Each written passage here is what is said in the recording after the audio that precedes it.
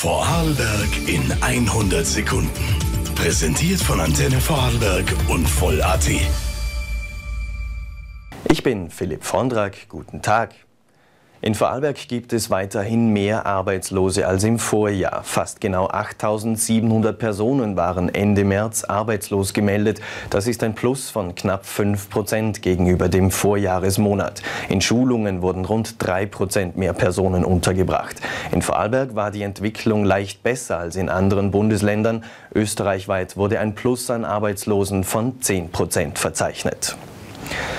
AK-Präsident Hubert Hämmerle ärgert sich über den Streit um die Lohnnebenkosten in Österreich. Er sieht darin reine Stimmungsmache, denn Österreich liege hier gerade einmal einen Euro über dem EU-Schnitt. Hämmerle fordert vielmehr, dass der Lohnsteuertarif gesenkt wird, damit mehr Netto vom Brutto bleibe.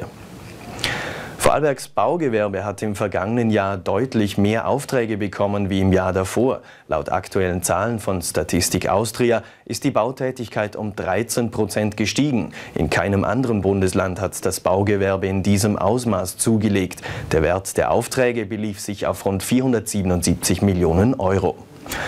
Und in der Fußball-Erste Liga ist Austria Lustenau seit langem wieder in der Jägerrolle. Heute müssen bei Blau-Weiß Linz Punkte her, um den Tabellenführer Grödig nicht davonziehen zu lassen. Alltag spielt beim Vienna FC, der FC Lustenau darf Kapfenberg empfangen. Vielen Dank fürs Zuschauen und bis morgen.